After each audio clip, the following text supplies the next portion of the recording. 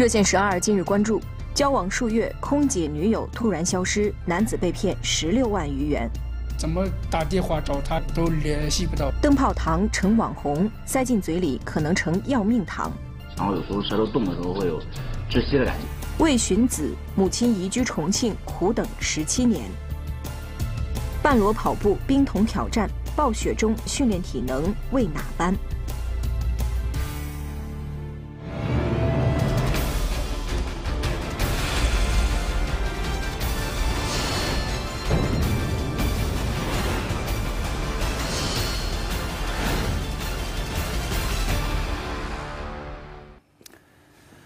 各位中午好，这里是正在直播的热线十二，我是朝东。首先来看今天的热线发布。为了建立自上而下四级法院权限管理体系，实现各类诉讼服务网点一键触达，探索审判流程信息公开网、裁判文书网等诉讼服务信息的集中入口展示，人民法院智慧法院导航系统和类案智能推送系统近日正式上线运行。这进一步加强了司法大数据和人工智能在审判执行工作中的应用。好，继续我们的热线关注。日前呢，多地迎来了入冬以来的最强降雪，在河南的济源，大雪导致市区多处路段出现了拥堵，发生多起交通事故。来看当地交警部门的紧急处置。我现在是在河南省的济源市。近期，我国中东部地区出现了大范围的雨雪天气，而一月六号呢，济源市也是继续发布暴雪蓝色预警。从今天中午大概十一点左右，雪势就是一直在持续，而现在呢，天色渐晚，雪依然没有要停下来的意思。从画面中，大家也可以看到，沿路的这个树木以及经过的汽车的车身上都堆满了厚厚的白雪，而我们站在这里，也就短短的几分钟的时间，身上已经快被白雪给覆盖了，都是一层雪哈。而今天晚上，随着入夜之后，暴雪导致的交通压力持续的增大，济源市公安局交警支队也将上路开展一系列的应急处置工作。受强降雪影响，河南省济源市市区多处路段出现拥堵。济源市公安局交警支队启动了恶劣天气下道路交通安全管理处置预案，引导车辆有序通行，确保雪天道路交通安全。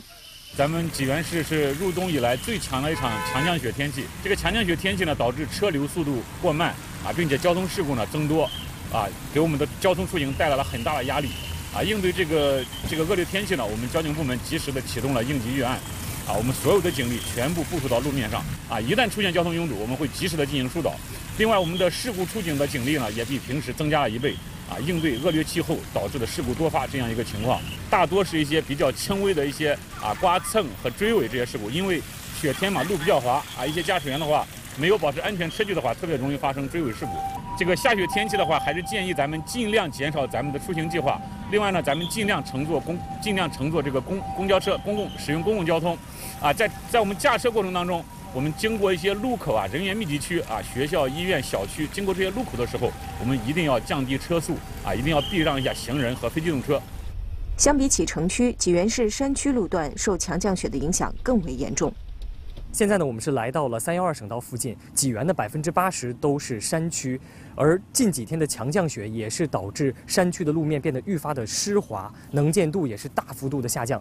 而在入夜之后，路面也是布满了冰雪。大家通过镜头也可以看一下，在我脚下这块没有被车辆压过的这个路面，积雪已经达到了半指多厚。所以说，在这种情况下呢，交警部门为了确保安全，也是在这里采取了临时的交通管制措施。多少车？王五，好几个人？俩人。俩人啊？打保链了吧？打的。呃，二十四小时有人值守，呃，禁止那个七座以上车辆呃往上山。第二方面，我们是在我们的辖区路段，呃，进行巡逻，呃，如果发现拥堵道路拥堵情况的话，我们及时进行疏导，进行疏导。呃，第三方面，我们也是对过往的呃司机朋友。进行宣传提示，提醒他们呃在呃山区路段减速慢行，呃安全行驶。有一部电影叫《驴得水》，那讲的是民国时期一所偏远的学校中啊，教师们将一头驴虚报成得水老师冒领薪水而引发的故事。那近日呢，在河南的淮阳，驴得水的故事又再次上演了。二零一七年十月，家住河南省淮阳县的张金丽发现自己的低保补助金已经半年没有到账。张金丽到淮阳县民政所询问原因，却得知自己的低保资格因为违规被取消了。他说：“那个啥，你吃的有财政工资？”他说：“我说不会啊。”我一看，咦，就是我的名字啊，电身份证号码啥都一样。月工资是一千四百七十三，嗯，是两千年十二月三十一号开始，职称中级。淮阳民政部门提供的信息显示，张金丽于二零零零年十二月三十一号参加工作，目前是中级职称，工作单位是王店乡中心校。九九年九月一号，然后上周口教育学院去上的学，当时两千年我才上二年级，才上嗯二年级，对，还没毕业嘞，不可能去吃财政工资啊。张金丽说，二零零二年毕业后，她在城关镇北关学校临时代课。二零零七年参加招教考试，但从未接到录取通知。之后因身患疾病在家待业至今，并非享受财政的在编教师。为了查明原因，张金丽夫妇开始到相关部门查询情况。先上的都是网店中心校，然后校长嗯刚开始他不给查，他他说的，嗯，还得叫民政所来开个证明，我才可以给你出，呃，无没有张经理这个人，嗯，证明。我又到那个。教体局看了一下，他说我们没有我们这个人，然后又去财政局去扒了一下电脑，他说也没有我们的任何信息。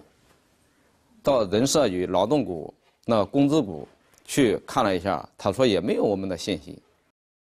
就在查询的过程当中，张金丽夫妇发现还有其他三个人也遇到了和他们类似的情况。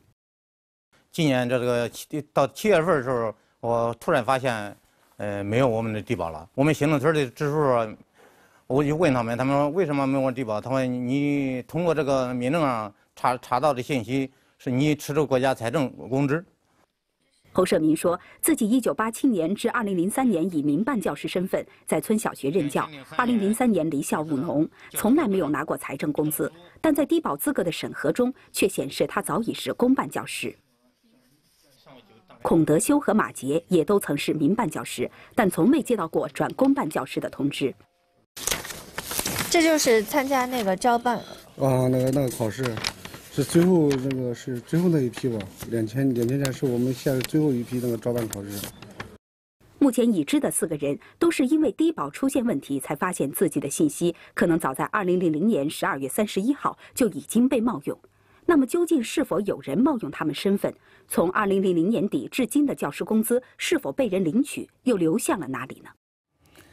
三位需要国家低保救助的困难群众，十多年来竟然一直被他人冒用身份信息领取国家财政工资。那问题到底出现在了哪些环节呢？又该如何来处理呢？我们将会持续的关注。那说起啊，个人的身份被盗用，我们曾经报道过多起类似的案件，比如说。画面中的这位女子，大家认识，叫王娜娜，她是河南周口人，三十五岁的她目前呢，正在河南洛阳理工学院，她是一名大一的学生。其实呢，早在十多年前，她就已经考上了大学，当时呢，却被他人冒名顶替，于是呢，她的人生轨迹也发生了改变。那同样被冒名顶替的还有陕西的田娟儿，在一九九七年，田娟儿呢，她考上了。呃，这是城关职业中学，呃，原本呢属于他的录取通知书，也是被别人冒名顶替了。冒名者成了当地养老院的院长，而他不仅啊与自己喜欢的幼师专业擦肩而过，近二十年间还一直无法正常的缴纳养老保险和住房公积金。其实呢，类似的案件还真是不少，在这儿我们就不再一一列举了。那错位的人生该谁来买单呢？为什么冒名顶替的事件会频频发生呢？马上连线本栏目特约评论员张斌，张斌，来说说你的看法。呃，冒名顶替啊，确实是这个社会的一大顽疾和丑陋现象。这些年我们看到，不管是冒名顶替还是吃空饷的现象，屡有发生。相关部门虽然也加大了打击力度，但是呢，效果却不明显。什么原因呢？关键在于这样的一个事件本身，它涉及到了相关的政府部门，涉及到了一些具体的操作，而且年代久远，有的时候啊，已经。根深蒂固，难以查清当时的来龙去脉了。但是不管怎么说，这样的行为啊，比小偷小摸恶劣百倍啊！你比如顶替这个，呃，人家上大学偷走的不仅是人家的青春，更多的是偷走了人家改变人生的机会。所以，类似这样的事件，包括我们案例里面所说的相应的这种冒充呃国家公职人员冒领工资的事件，一定能够啊追踪溯源，查到这个钱是怎么发的，是怎么领的。关键在于是不是能作为，是不是敢作为。这个社会如果想让我们生活在一个公平正义之下，首先要以法治的思维来治理国家，要以法治的思维来处理类似的问题。好，感谢张斌。热线十二，稍后继续。热线十二即将播出。交往数月，空姐女友突然消失，男子被骗十六万余元。怎么打电话找他都联系不到。灯泡糖成网红，塞进嘴里可能成要命糖。和美女空姐啊交往了九个月，先后转账十六万，之后呢，对方却人间蒸发了。近日，内蒙古达拉特旗的王先生报警称，他要寻找自己的网恋空姐女友。近日，鄂尔多斯市达拉特旗公安局破获了一起电信诈骗案件。犯罪嫌疑人利用社交软件，用空姐的身份编造故事，博得受害人信任后，以各种理由诈骗受害人十六万余元。二零一七年八月下旬，鄂尔多斯市达拉特旗的王先生到公安局报案，说他交往九个多月的空姐女友突然联系不上了。我怎么给他发信息，怎么打电话找他，都联系不到。王先生今年三十一岁，未婚，内蒙古达拉特旗人。在当地一家煤矿企业做安全监管工作。几个月之前，有一个名叫薛晴天的人主动在微信上加他为好友。他看到对方的头像是一名空姐，便加了对方为好友。两人成为好友后，聊得比较投机，很快就发展成为了男女朋友关系。飞的是国际航空嘛，就是年薪在百十来万。朋友圈也看了，也有他的私人照，然后也有一些就是小聚会，各方面条件都。比较优秀。王先生说，两人交往的过程中，女友薛晴天经常会把两个人的照片发在朋友圈里和大家分享，也会把身边的朋友介绍给他，并且经常在网上互动。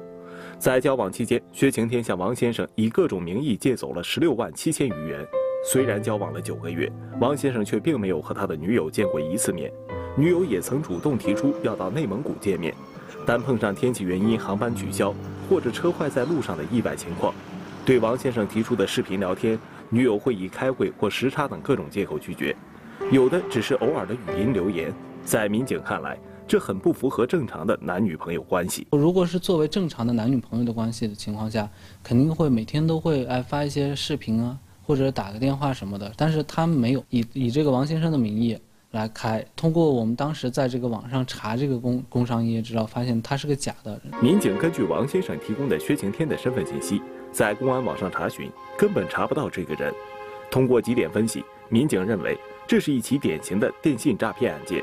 根据王先生提供的微信账号，民警远赴深圳，到腾讯公司核实该微信号的注册信息和交易明细。上面是一个绑定的一个五十多岁的一个女人的身份证。我们当时经过经验分析，这应该是一个假的。从他交易明细里能看出来，当时王先生给他转过去的钱。紧接着，他就转到一个 A D 开头的一个微信里边，是在美团上消费了，呃，叫了一些外卖，还有在这个呃去哪儿网上买过火车票。根据相关数据，民警赶到了美团位于北京的总部，查询该微信号付款叫过的外卖信息。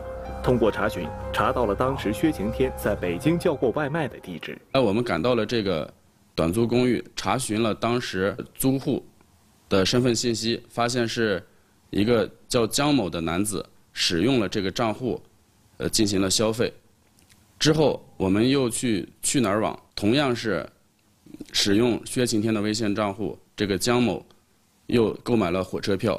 此时，从深圳腾讯公司传回来的信息，当时薛晴天转账给 A D 开头的微信账号的注册信息同样是江某，三条信息都指向了江某，江某的嫌疑进一步加深。民警通过江某的身份信息，很快找到了江某在河北石家庄的暂住地。那么，微信中给王先生语音留言的女性又是谁？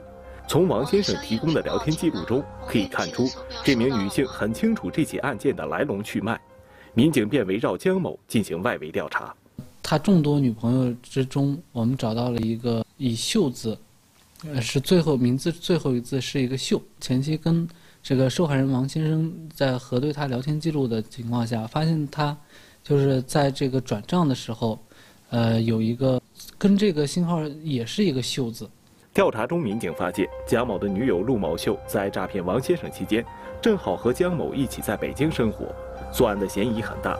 确定了两名犯罪嫌疑人后，二零一七年十二月二号，民警在当地警方的配合下，分别在石家庄和北京将两名犯罪嫌疑人抓获。到案后，两人很快交代了利用编造空姐的假身份诈骗王先生的事实。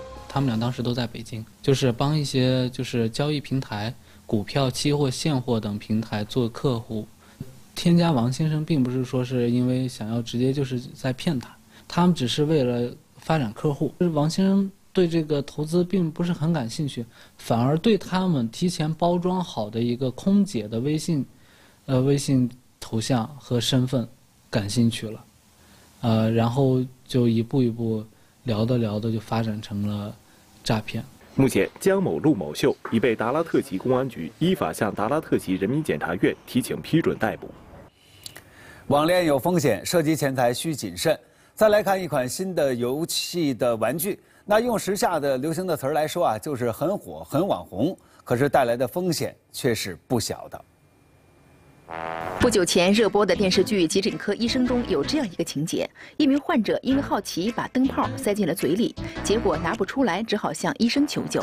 很多人会说这是电视剧的桥段，可是就有一些不信邪的好奇宝宝把这桥段玩成了现实，就是这个灯泡糖。这种糖是按照白炽灯泡一比一的比例制作的，一经推出便在网上爆红。某宝上一家店铺的月销量就达到两千多个。那么这种糖吃进去是什么感觉呢？嗯嗯嗯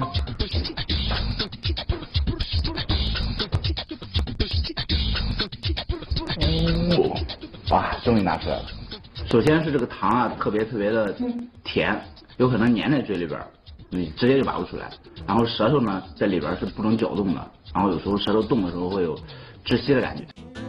明明可以塞进嘴巴的糖，为什么却会拿不出来？窒息的感觉又是从何而来呢？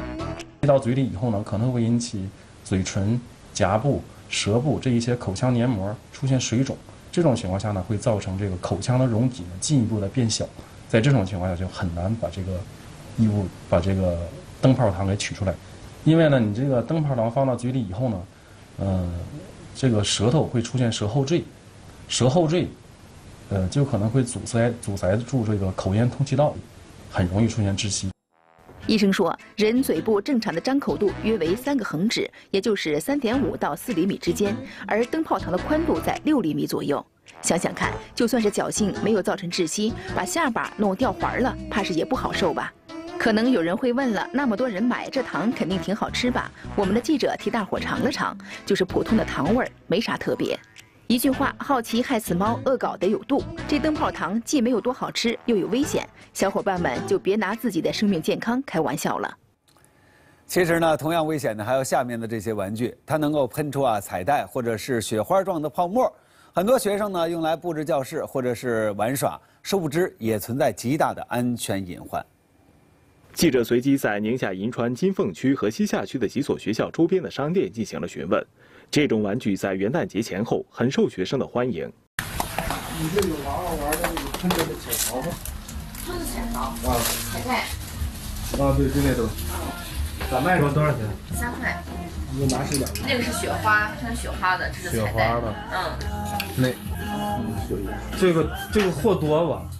就那些了，就那些了。都是那个啥元旦了，联欢会的时候用。哦，那就是前前几天就学生买的多。嗯，对。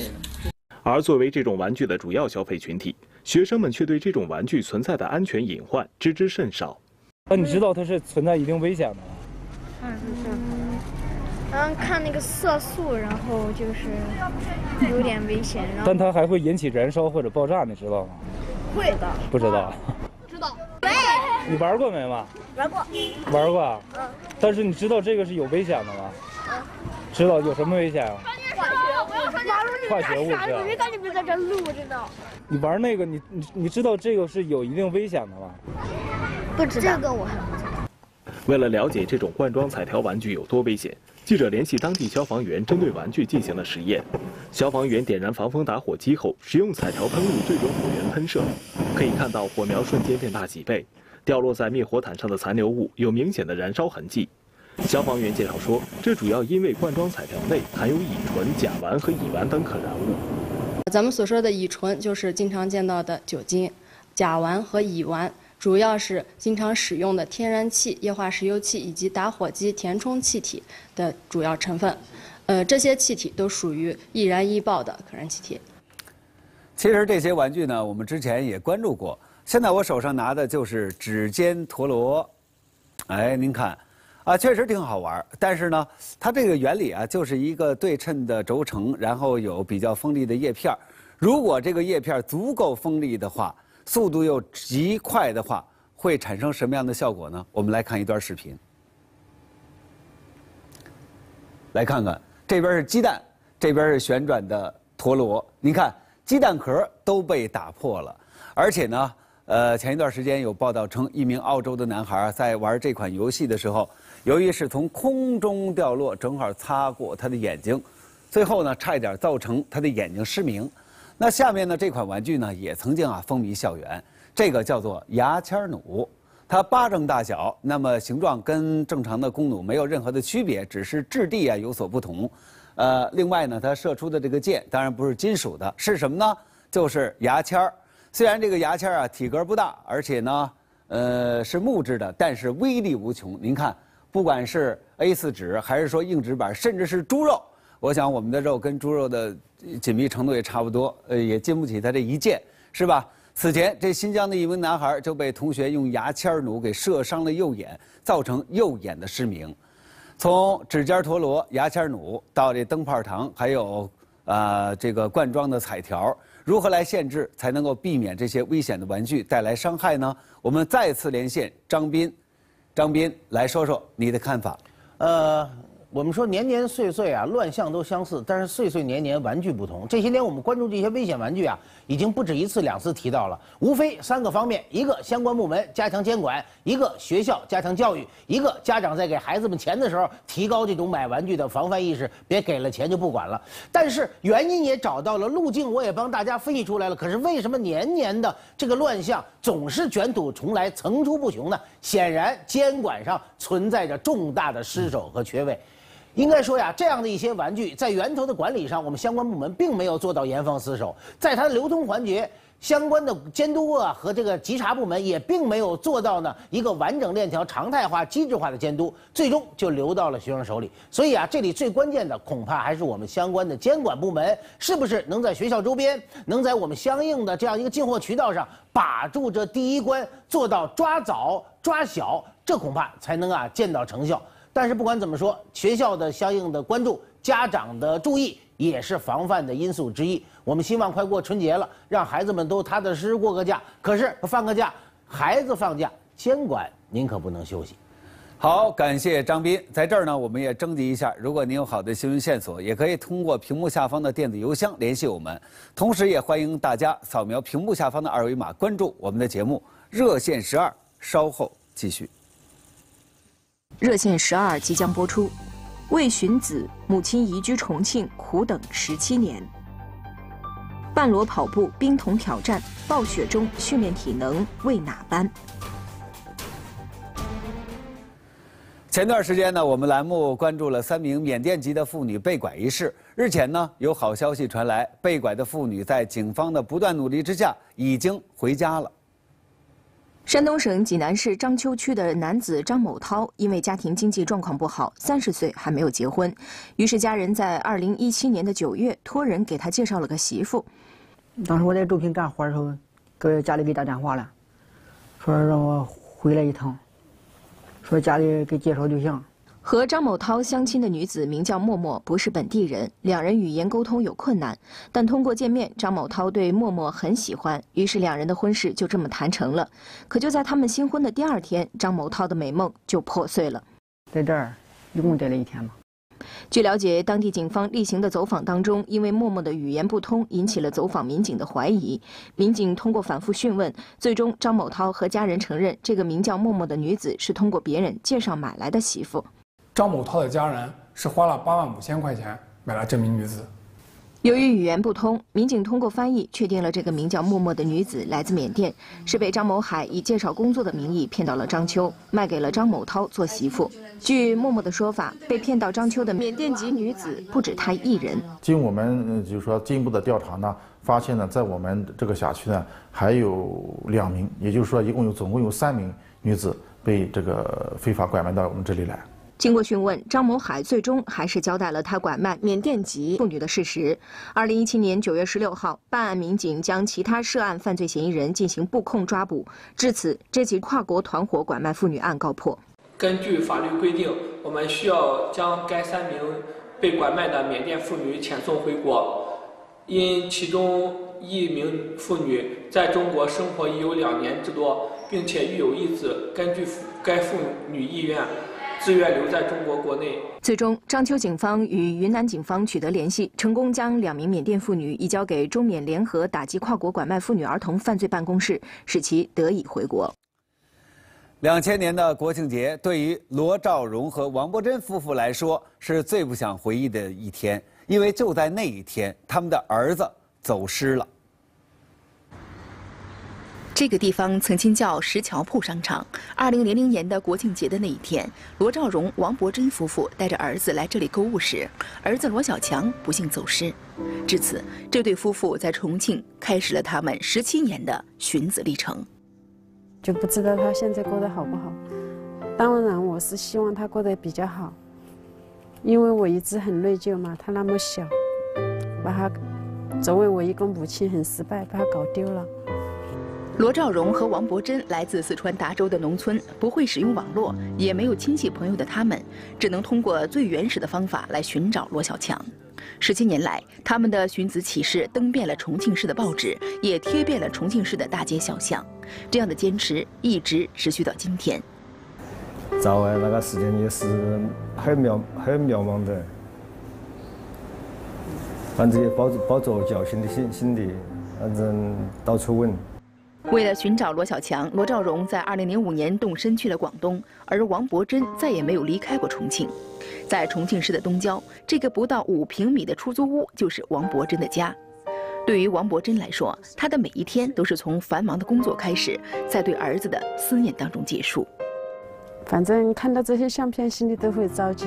反正有时，有时也会胡思乱想，有时会想，不知道他。走出去是什么命运？有时像那个电视上写的，就是什么，如果那个母子连心，万一有什么遇巧在那个路上碰见了，我就是有时就是只会这样想，所以一直在重庆工作。王伯珍认为，罗小强丢失的时候已经五岁，有了记忆。如果罗小强也在寻找父母的话，就一定会回到这里。所以，王伯珍选择在重庆等待，而这一等就是十七年。那个哪哪个部位有活的，上面是干的，都全部剪了，哎，然后它要拔出来，剪了过后，哎，拔到结巴的剪。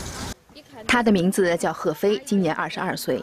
十七年前，贺飞与亲生父母走散，如今已经在福利院生活了十几年的时间。就是旅游走丢嘛，是不是？旅游。旅游走丢。哎，旅游第二天，都。进那个超市走丢啊？没有啊，他到那住，他喊我给人接起走，接了又住某个地方。贺飞说，被陌生人带走后，他在对方的家中住了几天，后来陌生人又把他送到了儿童福利院。二零一五年五月，他又被辗转送到了重庆市第二社会福利院。十七年来，贺飞总是努力回忆父母和家庭的信息，但是这些记忆却越来越模糊。你都搞忘了，现在水平现在也模糊啊。嗯，他只知道哟，窗子可看到车开过去开过来啊，屋头都是花，都是开，我都不晓得啊，窗窗子啊搞忘了嘛，嘿一想。在福利院中，贺飞没有太多的伙伴，也不喜欢和别人交流。除了上课和学习技能之外，他总是喜欢一个人静静地坐着，仿佛被心事缠绕。从他眼神中间流露出来，还是想家。还是想家，看到别人的家人来看他，买点好吃的好穿的，带他们出去耍玩儿那些，他可能心里面还是有感触。在二零一五年七月，福利院的工作人员联系民警，为贺飞进行了 DNA 血样采集。二零一七年六月六号，经过全国公安机关查找拐卖失踪儿童 DNA 信息系统的盲队，贺飞的父母终于被找到。他们正是苦苦寻找了儿子十七年的罗兆荣、王伯珍夫妇。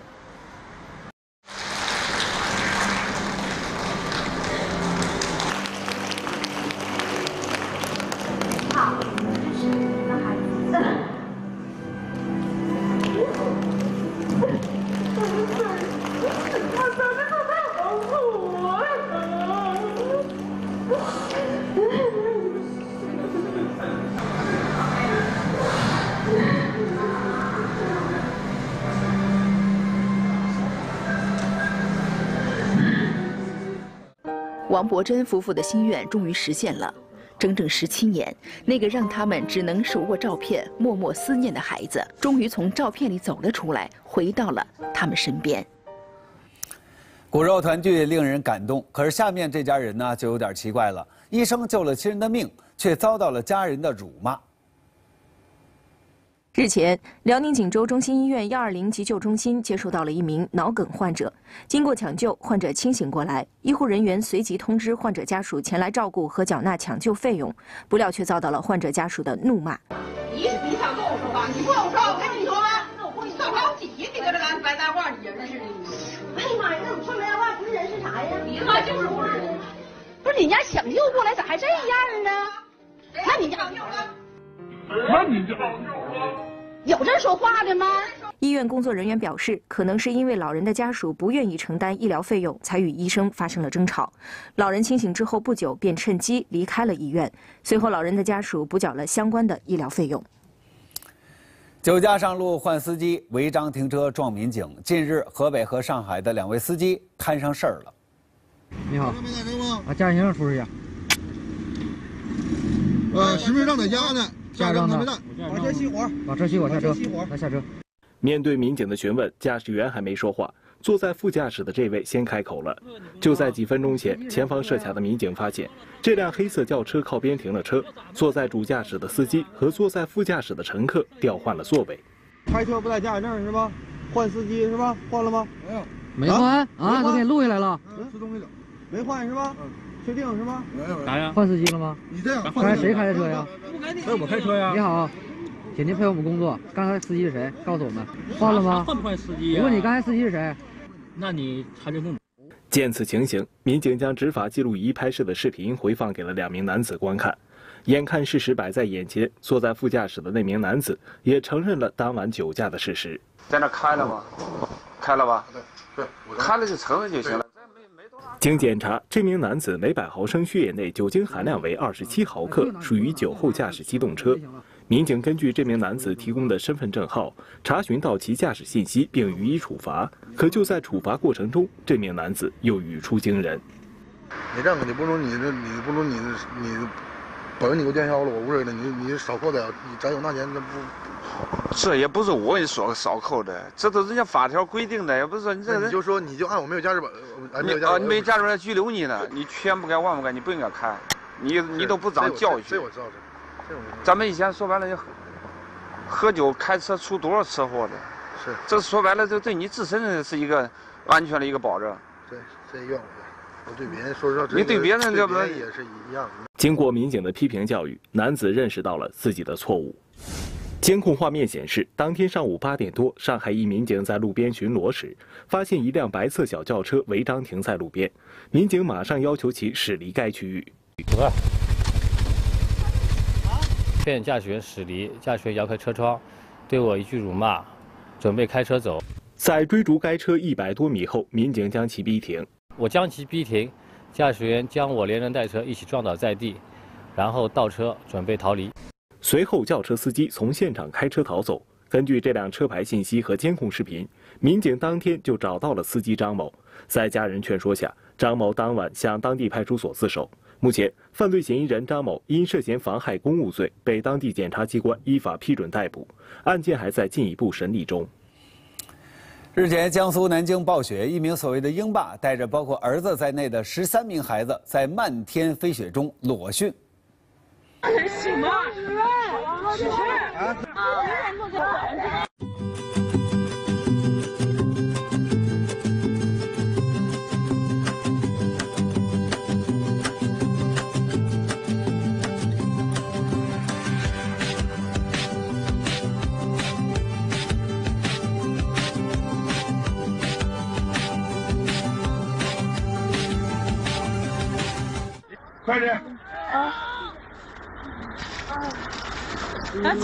他